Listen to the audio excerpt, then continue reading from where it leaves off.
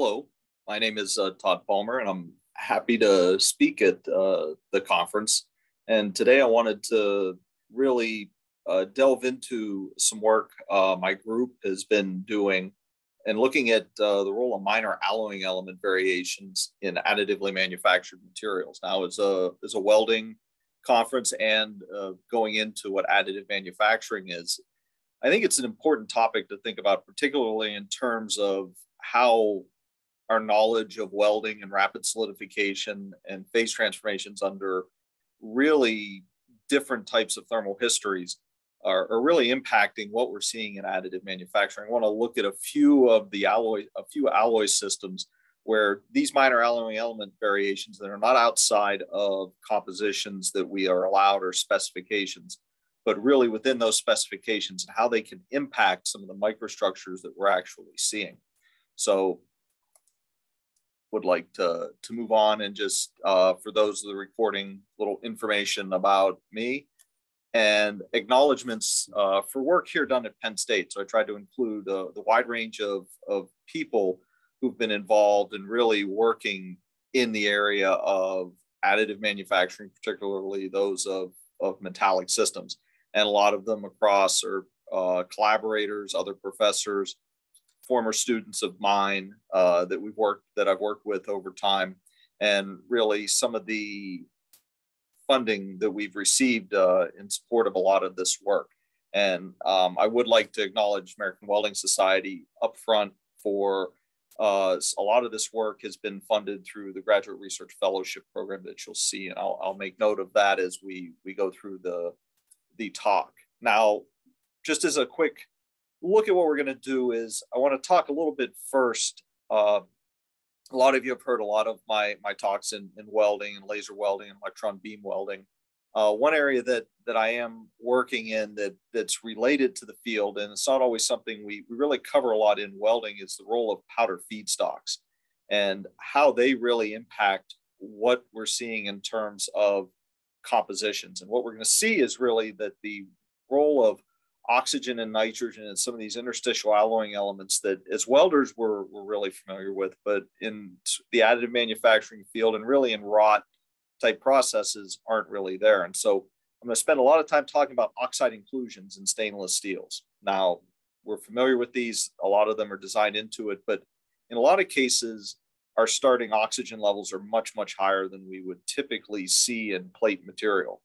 And so what they're doing is, is they're really changing sort of the evolution of these oxide inclusions. What we're going to see is they're potentially bad actors in them. And I want to finish up really talking about uh, some work we've done in, in really a common nickel-based alloy is Inconel 625 and really of how the, the changes in nitrogen composition can really impact some of the secondary phases that, that we've seen. And I think this is, is really some interesting work and something that that has some long-term uh, impact, can have long-term impact on how we view sort of this alloy and high temperature uh, nickel-based alloys. But really starting off with these chemistry variations that we see. And I always like to sort of start here a little bit with really the complexity of additive manufacturing and sort of where we, we really want to start and, and think about how it's impacting what we're, we're really looking at. And what we tend to see is we really start with really that material and chemistry compatibility. And, and here I just threw a, a, a small uh, thermocalc. Uh, just the use of computational thermodynamics is a powerful tool that we all really should be taking advantage of and in telling us how we can deal with what are really complex multi-component alloys. And really the alloys that we're most familiar with are really that when we really start breaking them down and really the role of powder feedstocks and how those beam interactions and melt pool dynamics impact these. Now we, we tend to get caught up a lot in defects and, and not so much in post-processing and how they can relieve those and impact really the microstructures and properties that we have. But overall, starting at this point is we have a complex process where we're taking a powder feedstock with a composition that was designed for wrought processing melting it with a laser and really hoping that it has the properties that we would expect out of the raw materials. And, and for most of us to know is they really don't.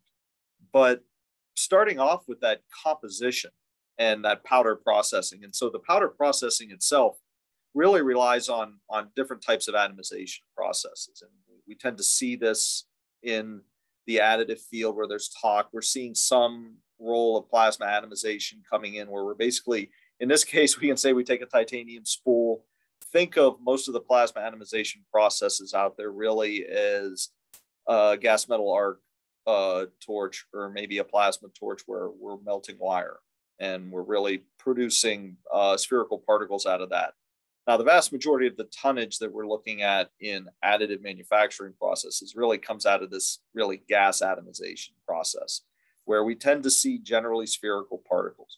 Now, where the, the differences come in and where we've been sort of looking now, what we have here is, is maybe a little bit of a busy plot, but I had to have one of my students explain to me what what these plots actually are and, and what they're really look at are violin plots. Now, this is just looking at Inconel 625 and to, to let you know how unpleasant I can be really as an advisor and, and really to direct sort of the research. I asked the student to go in the literature and find everything he could find, all the reported compositions for Inconel 625 and plot them in a way that we could see how they're varying in in really in the literature and what how that can be impacting the resulting microstructure. So in 625, what we tend to see are a couple things that that st- stood out to us is the wide variability, but really that iron content that's allowed to vary, how much titanium can vary, and what going we found is that these titanium and silicon variations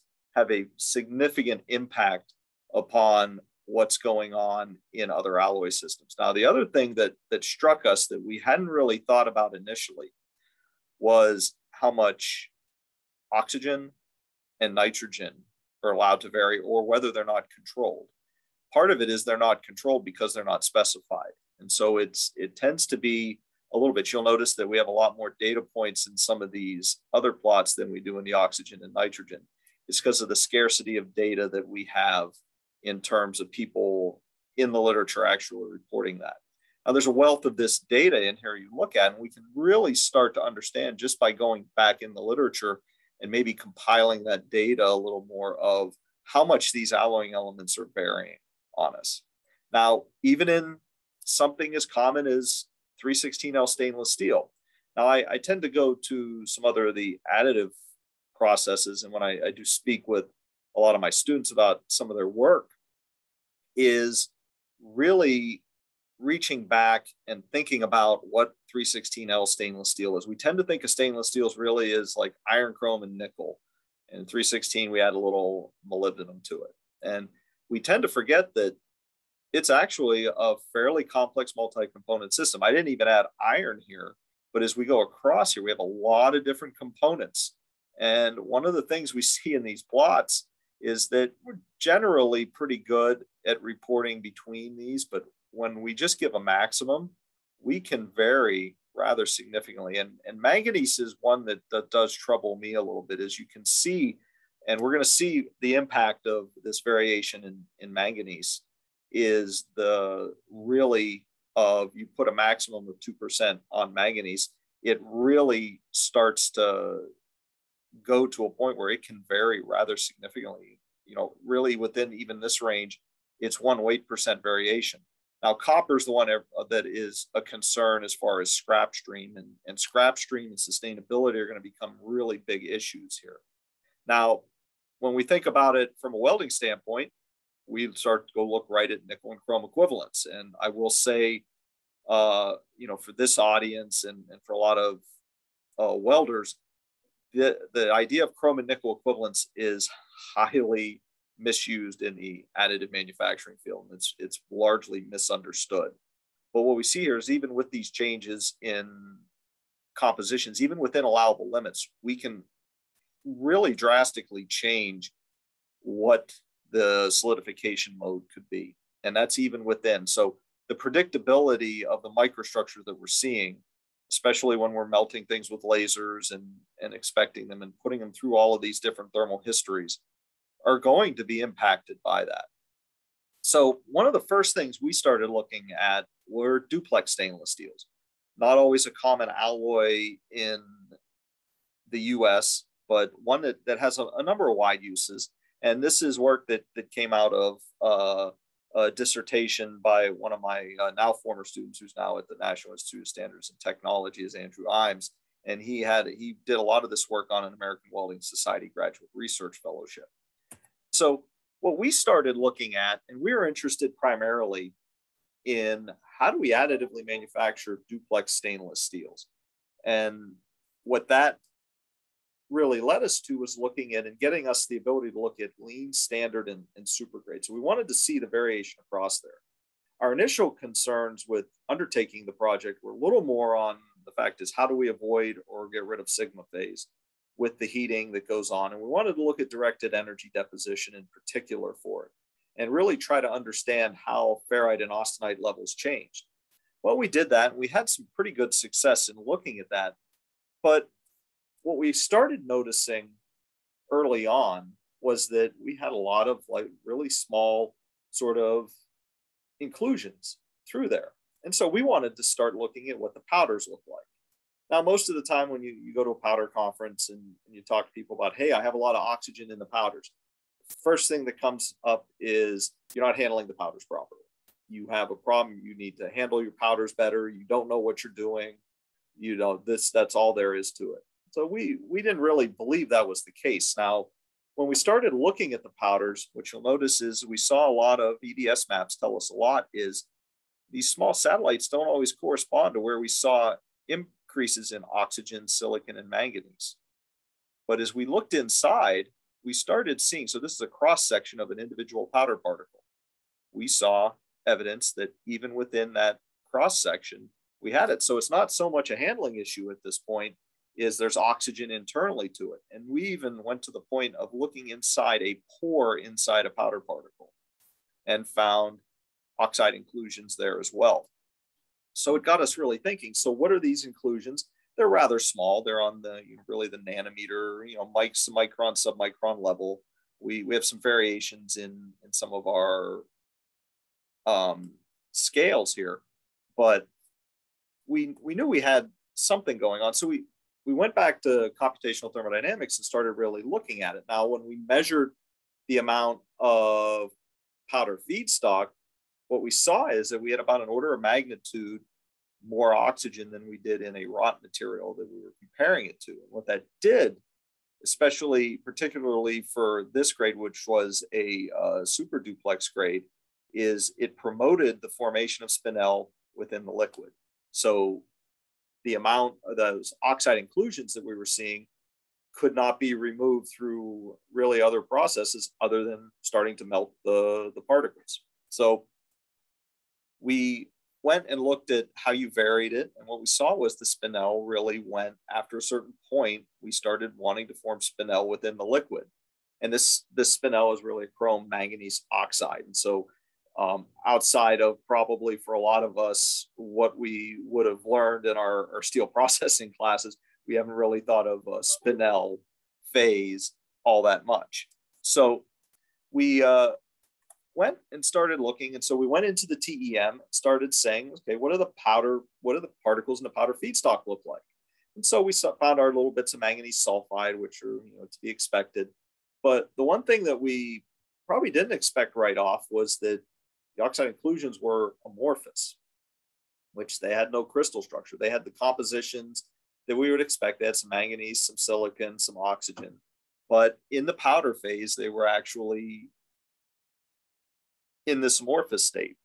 And that led us to think, well, it's the the cooling rates within the gas atomization process hindered the formation of that. So we wanted to look a little more closely. So looking at as deposited materials, what really sort of drove us into a lot of this was we had seen these inclusions uh, present throughout. We'd seen these black sort of dots everywhere, and they seemed to be like sort of acting almost like heterogeneous nucleation sites for austenite.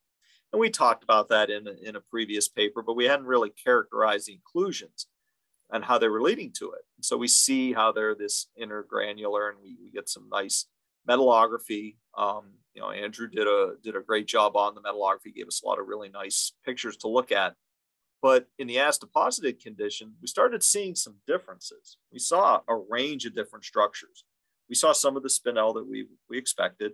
We also saw some rhodonite, which is basically a metastable version of the oxide it's coming out. And it's a little less, uh, uh, basically, it's a little depleted in, in manganese compared to the spinel. But we also saw some of these amorphous characteristics to the, the oxide inclusions as well.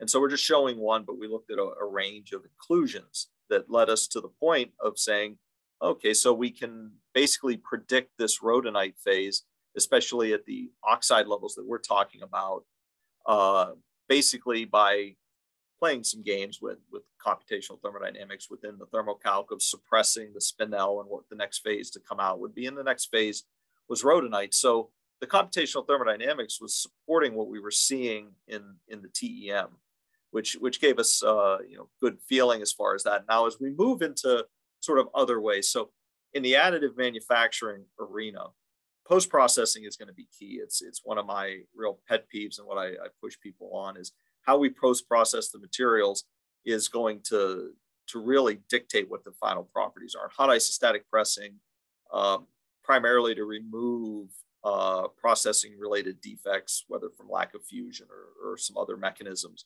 is one way to do it. Now, the high temperatures at which hot isostatic pressing is performed are also going to evolve these oxide inclusions and give us something that is a little closer to what we would expect. And what we found was that the spinel phase came out in this. So we had this wide range of evolution of, of oxide inclusions in, in these materials. And that gave us sort of a, an idea, really thinking about it. So we've looked at some other ones is there's other work out there where some are trying to look at the oxide inclusions and how they're strengthening and how they're impacting the mechanical properties. Now, mechanical property wise, at, at room temperature, we could not really have been too much happier with what we found. We did see some issues along transverse orientations that gave us a little lower engineering or strain or strain to fa- uh, the strain to failure that we would see that can be attributed to lack of fusion defects, but we saw those went away when we hot isostatically pressed them. In you know, case upon case, we outperformed uh, wrought materials across the board, whether for standard and, and duplex grades. And elongations were great. So testing at room temperature sort of really got us thinking that, hey, we're really on to something. But for a lot of these duplex grades, the impact energy is the main driver. And if you look at the table, it's a little small, I understand. But looking at the table, what we tended to see is there was a major fall off in the performance of these materials under low temperatures and under high strain rates. So all these impact energies were measured at about negative 50 degrees Celsius and, and right around in that range. Now, in the static tensile testing, we had dominant uh, ductile failure. We don't see these impacts, but under the basically these low temperatures about negative 45 degrees C, what we start to see is that we really see a degradation in, in these impact energies. And that can be really attributed to a couple things is the ductile to brittle transition with the, the BCC and the FCC phases, but the oxide inclusions also really tended to drive that. So they became really a bad actor at these these lower temperatures. And as we started looking at it, we can see these oxide inclusions and how they're really impacting the microstructures in the brittle failure modes. And in some cases, along the brittle failure pathways, we start to see cracks. And within those cracks, we see that the oxide inclusions tended to initiate them. So there's there's a interplay that we have here, but oxide inclusions in this case, don't really help us out. Now, that's with uh, duplex stainless steels. And so we wanted to look at some other stainless steels and, and how they're impacting. Now, what we saw is, are we going to see the same types of inclusions when we go to austenitic stainless steels?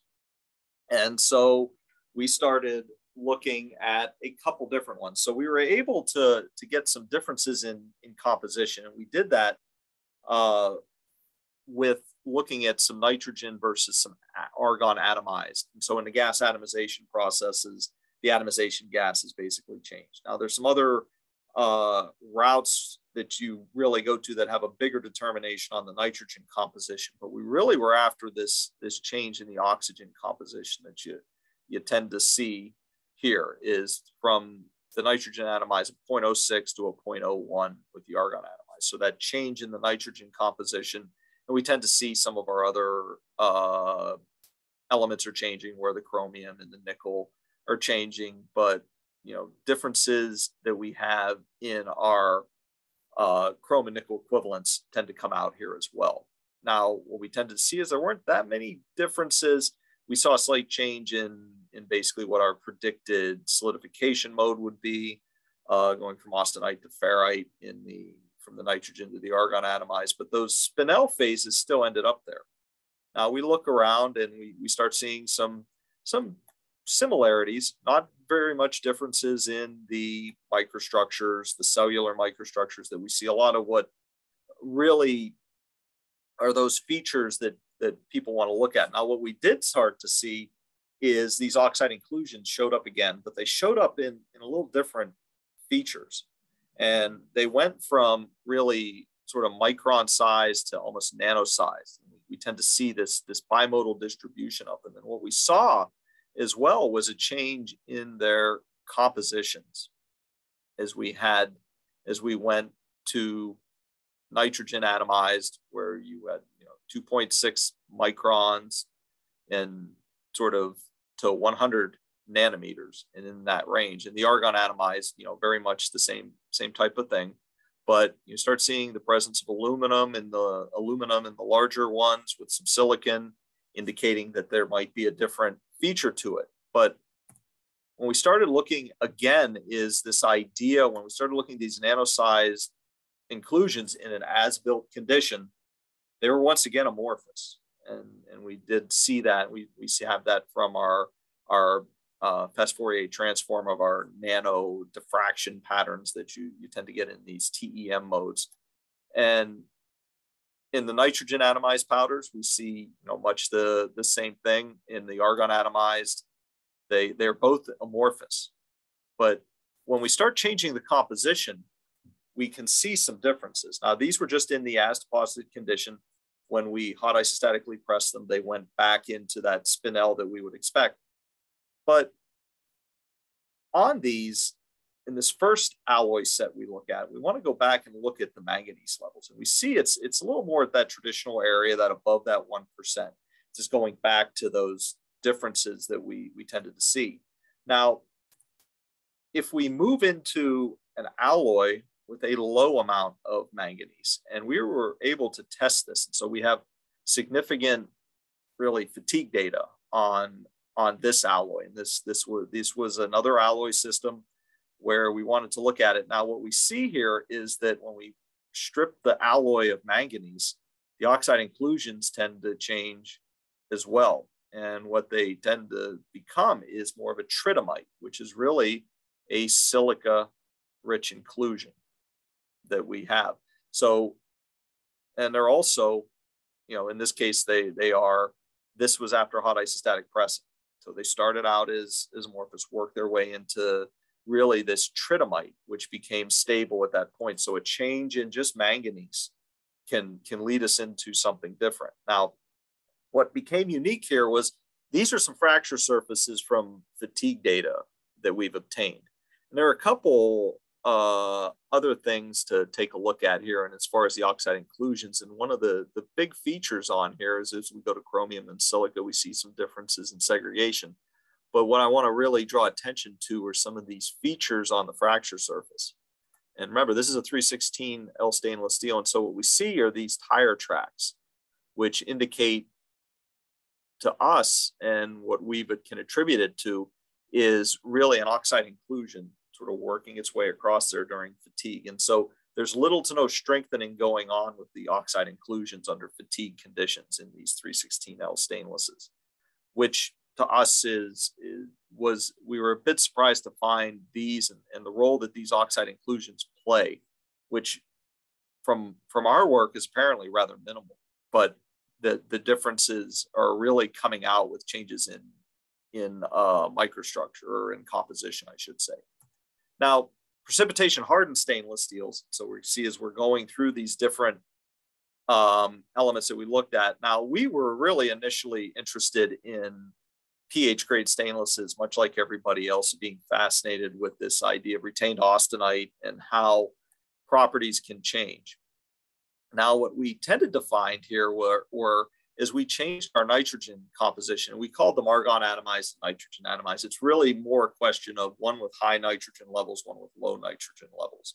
And so what we tended to see was we, we see very significant differences in our solidification mode, but we also see where this oxide inclusion tends to show up. And once we started looking a little more closely, we saw oxide inclusions in these alloys as well. Now they've been been observed elsewhere, and there's a, a bit of uh, thought going to how they're impacting strength. I would posit to say initially that the strength is not really in, in from what we're seeing is not being terribly influenced by these. They, they exist there, but as we start looking at them, they're all silica rich. And, and that was for us a little different. Now, what we are seeing is, is they are serving as nucleation sites for uh, carbonitrides that can form under the different conditions. And so things of interest to us is, as well there. But the point is, is that the oxide inclusions are changing as we work our way through. Now, I want to change directions here, and this gives us a little bit of an idea, really end on this, is what happens when you start changing it in an Inconel 625? Now, our, our work initially started out with taking a look at 625 and really looking at what the role of iron was. Now, what we tended to find was that there wasn't that much of a difference as we looked at it. And We saw these secondary phases, and we really sort of worked our way into taking a look at them and getting an idea that, hey, when we change the iron content, we started seeing some real differences. First off, in basically the presence of titanium. And it wasn't that much of a difference in titanium. It's the difference between about 0.03 and 0.3 weight percent titanium in the low iron and the high iron. But what we tended to see beyond some of these inclusions that we had here was the segregation of these alloying elements. Uh, we, we expected the niobium and the moly, the molybdenum to be there, but the formation of this titanium and the high iron content tended to be a lot different than we expected. So we saw these different phases form and we start looking at the titanium nitrides or these titaniums that form. We had something that was different there. So we wanted to sort of take a look. Now the grain structures completely different. And what that led to was a significant difference in the yield strength of what we were looking at and really got us thinking. And so to be honest, the yield strength difference is about 25% in the as deposited case, with the low iron, as you would expect, having the higher yield strength. So that led us into what's going on with these inclusions that we saw in this segregation. So we went into high energy X-ray diffraction. And what that allowed us to do was start really indexing some different phases. And we started seeing things we didn't begin to expect. Presence of basically Z phases in 625 really being led to, and we see even in the high nitrogen, we didn't see anything. We saw really MN phases form, which led us to where is the MN phase coming from and why are we seeing a Z phase, which is basically a carbonitride? What we found was that once we measured the nitrogen composition, we found that it was really high. It was in the 0.1 to 0.14 range. And that led us to go back to computational thermodynamics and work our way to see how different it is when you consider nitrogen in and Inconel 625 and how it was impacting really these different phases. And what we saw were different phases coming out. And we were able to use uh, transmission electron microscopy to start identifying them in low iron and in high iron cases where they varied much more. And even with the hot isos- presence of hot isostatic pressing, we saw that these phases tended to exist across the board. And that was something that was was really pleasant for us to see. It was a little surprising, but I think really a helpful finding because the presence of the Z phase from the as deposited the hip condition indicates that it is there. Now, the other thing to remember about this is the Z phase is rich in niobium. And as far as high temperature usage of 625, there's a potential for this phase to preclude the formation of delta phase. And so we are currently writing up some results on that that I'm not presenting here, but just as a, a preview for some of our coming attractions in that area. And we tended to see the same thing in the high iron phases. So uh, there are is potential with some of these of really looking at it. So we can see the, the evolution of the microstructures. But sort of where I want to end up here, and I think I'm just uh, maybe a couple minutes over, is we we tend to see these high increases in oxygen content between in powder feedstocks and in AM materials. And what they're driving is the presence of some of these oxide rich phases or oxide inclusions that we can call them. And they tend to evolve as we post process them and go from different conditions. Now, high nitrogen levels, on the other hand, in some of these other alloys and how they interact with these other multi component systems that we have are ones that we want to take into account and start looking a little more closely at as we evolve our uh, understanding of AM and how compositions can impact microstructural evolution. So uh, thanks for your time. And that's what I have for today.